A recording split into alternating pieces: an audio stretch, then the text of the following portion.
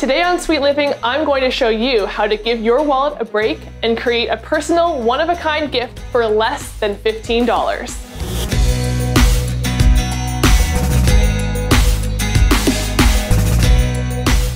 And this is it. Now you may see a piece of firewood, but I see an incredibly chic cheese board. Don't believe me?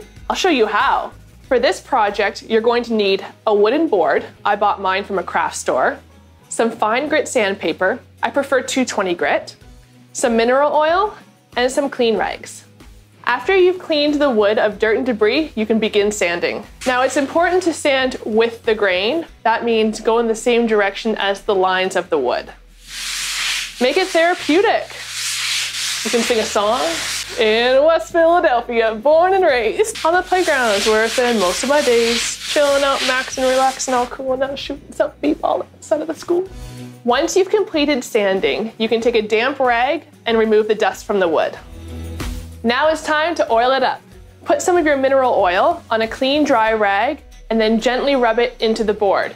Make sure though that you rub it in the same direction as the grain, just like you did for the sanding. After you're finished oiling, the board will become dry in a matter of minutes, but it's best to let it sit overnight to let the oil fully absorb. After that, it's time to wrap it up all pretty.